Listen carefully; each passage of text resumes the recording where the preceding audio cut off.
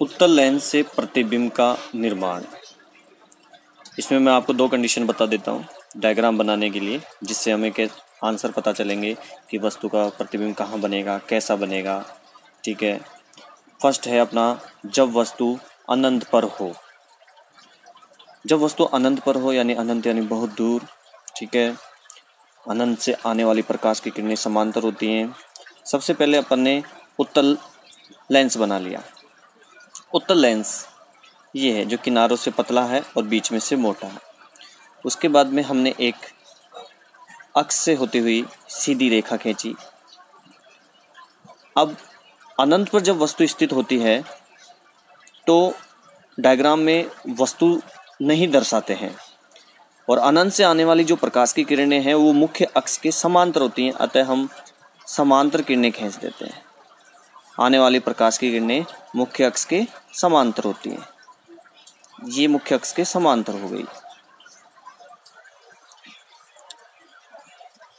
हमने यहाँ पे F, इसको F1 फोकस है, इसको F2 ये हो गया F2 और ये हो गया 2F2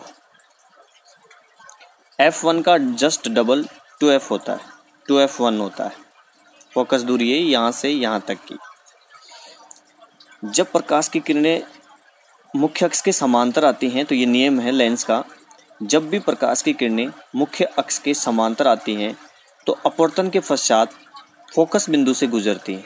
तो हम इन सबको फोकस बिंदु से गुजार देंगे आगे की तरफ़। ये नियम हमें याद होना चाहिए कि मुख्य अक्ष के समांतर जब प्रकाश की किरणें आती हैं तो फोकस बिंदु से गुजरती हैं। सभी रेखाओं को हमने फोकस बिंदु से गुजार दिया। डायग्राम तैयार हो गया। अब इस डायग्राम से हमें आंसर मिलेंगे। कहाँ, यानी प्रतिबिंब कहाँ बना तो आप देख सकते हो एफ़ पर। कौन सा एफ़ है ये? एफ़ टू प्रतिबिंब एफ़ टू पर बना। कैसा बना? ये चीज़ इससे पता चलेगी। देखिए उत्तर लेंस ऊ यानी उत्तर लेंस ऊ से उल्टा। और जैसा पहले बताया जा चुका है कि उल्टे के साथ में हमेशा क्या आता है? वास्तविक। तो वास्तविक प्रतिबिंब। आकार इसका।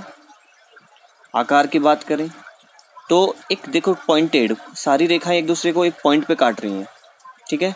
और हमेशा ध्यान रहे, जब वस्तु लेंस से जितनी दूरी पर होगी, वस्तु इस लेंस से जितनी ज़्यादा दूरी पे होगी उसका प्रतिबिंब उतना ही छोटा होगा। वस्तु अनंत पर है, यानी बहुत दूर है तो प्रतिबिंब बिल्कुल बहुत छोटा बिंदु के समान। वस्तु का जो प्रतिबिंब बना बिंदुवत, बोल दो, बिंदुवत या बहुत छोटा। हमेशा इसको ऐसे ध्यान रखो जैसे जैसे वस्तु लेंस के पास आएगी वैसे वैसे ये प्रतिबिंब बड़ा होता जाएगा। जब ऐप पर वस्तु आ जाएगी तो प्रतिबिंब बराबर हो जाएगा।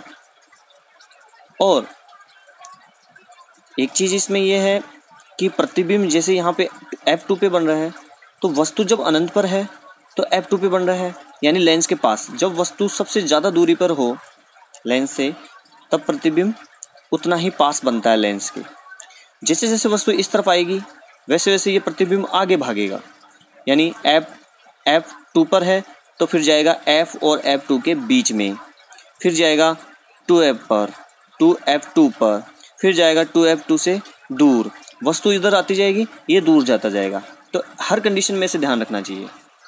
जैसे अब सेकंड कंडीशन है, जब वस्तु टू एफ़ से परे, यानी दूर स्थित हो तो हमने अक्स बना दिया लेंस बना दिया ये फोकस बिंदु हो गया एफ़ वन इसका just double two F one ये हो गया आपका एफ़ टू ये हो गया टू एफ़ टू क्वेश्चन में लिखा हुआ है, जब वस्तु टू एफ़ से परे, यानी ये टू एफ़ है, इससे परे, यानी यहाँ पे हमने एक वस्तु बना दी, जिसके सर इस एरो को शो करेंगे, वस्तु को एरो से शो करते हैं, ये सर की टोपी है इसकी, ठीक है?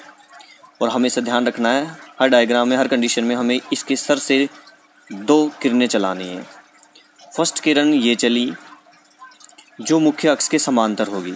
हमेशा ये मुख्य अक्ष है, इसके समांतर ये किरण।